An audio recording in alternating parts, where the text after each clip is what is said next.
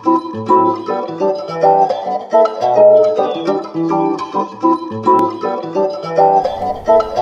ragazzi e bentornati su paolodetrane.it Oggi vediamo insieme uh, questo gioiellino qua. Di cosa si tratta? Lo scopriamo subito insieme.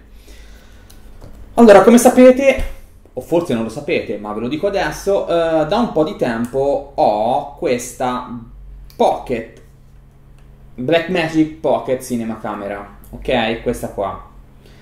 Uh, cos'è? La Blackmagic Pocket Cinema Camera è una, a tutti gli effetti, una uh, videocamera, chiamiamola così, uh,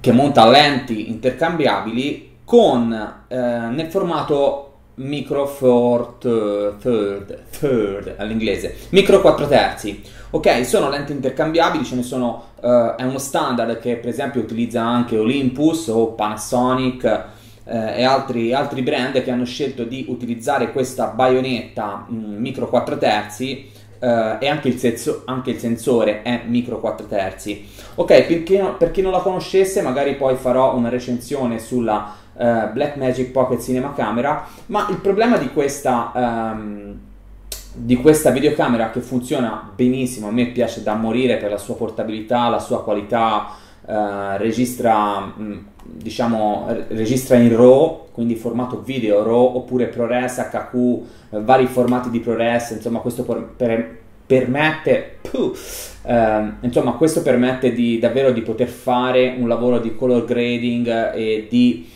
post produzione video molto molto molto più approfondito rispetto a un file tra virgolette mp4 o mov normale in formato mov normale. Ma eh, bando alle ciance perché eh, vi ho detto cos'è la Blackmagic Pocket Cinema Camera? Perché ha un difetto enorme forse il più grande per me. Non è un difetto lo sapevo prima di comprarla ehm, e questo difetto qual è? È che il uh, formato micro 4, micro 4 terzi, difficilissimo da dire, um, crea un fattore di moltiplicazione con questa fotocamera, con questa videocamera di 2,7 per. Cosa vuol dire? Vuol dire che un, un obiettivo 35 mm si moltiplica per 2,7 volte e calcolatrice alla mano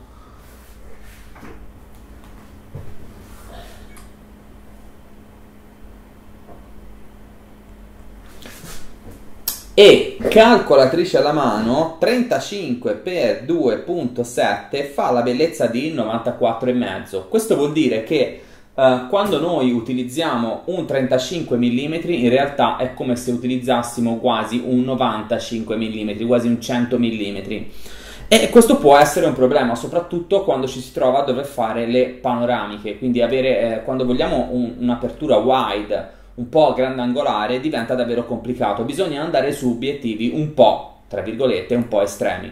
E qui entra in gioco la recensione di oggi. Wow, tutto questo preambolo per arrivare a questo obiettivo. Samyang F3575 mm, ok?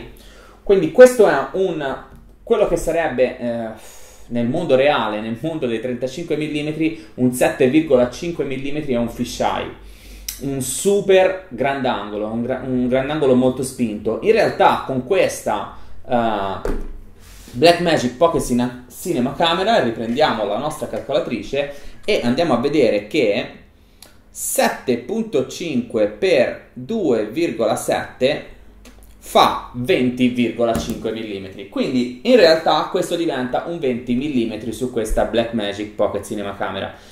E devo anche dire finalmente. Perché ho dovuto scegliere questo obiettivo? Proprio perché con questa videocamera non potevo, eh, non riuscivo a fare riprese abbastanza uh, ampie quando ne avevo bisogno. Ho un 28 mm, ho un 20 mm, ho un 35 mm, un 50 mm, e erano tutti già uh, dei mm, medio tele, diciamo, ecco, diventano tutti medio tele. Per questo sono andato su questo Samyang. E, e vediamolo insieme. La qualità costruttiva di questo Samyang è uh, niente male, devo dire.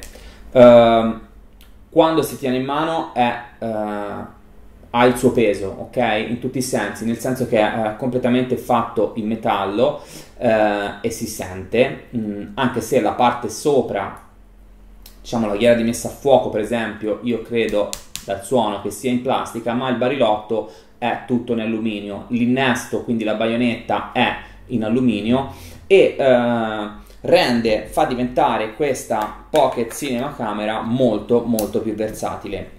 Allora, la qualità delle immagini lo potete vedere eh, nella, nella, descrizione, metterò il link ad un video che ho fatto, oppure anche qua, oppure qua, oppure qua, non lo so, adesso vedete, voi dove apparirà il link.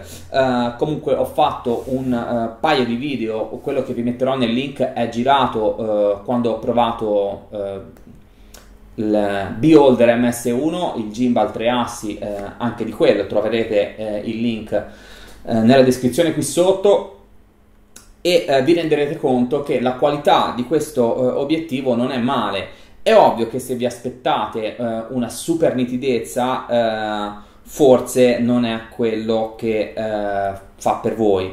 Ma devo dire che la qualità dell'immagine è più che mh, mm, più che sufficiente, è una buona, una buona qualità di immagine, almeno per quanto riguarda il video. Non l'ho assolutamente mai utilizzato fotograficamente parlando, perché lo uso esclusivamente eh, con questa eh, videocamera e eh, per fare video.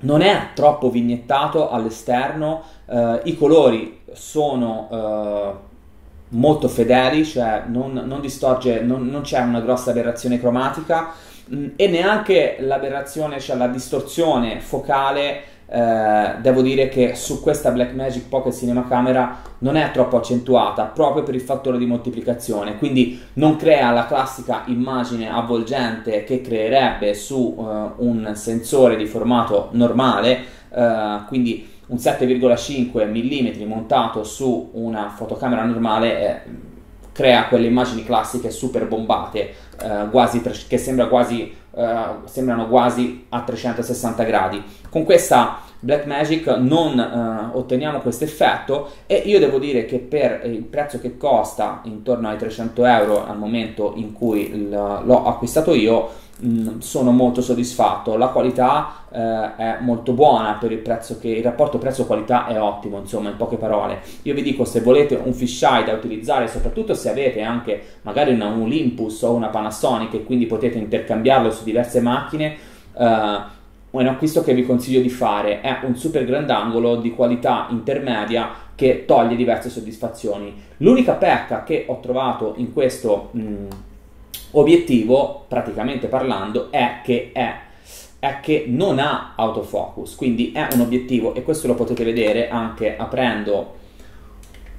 Vedete che non ci sono contatti autofocus per l'elettronica, quindi ehm, è un obiettivo completamente manuale e eh, questo può essere alcune volte, eh, se non avete tanta pratica, può essere un problema, però considerate che è un super grandangolo, quindi eh, la messa a fuoco è come dire, viene utilizzata relativamente poco, direi pochissimo in, rispetto ad altri obiettivi, perché eh, almeno che non, volete, non vogliate fare una macro, però da un metro in poi eh, è tutto a fuoco, ok? Per capirsi. Eh, anzi, direi da forse meno di un metro, forse 90 cm, ok? Da 90 cm in poi è sempre tutto a fuoco, è ovvio poi che eh, il gioco di messa a fuoco eh, per soggetti che sono mediamente distanti da voi più di un metro, un metro e mezzo, è, si sposta, la ghiera, sposterete la ghiera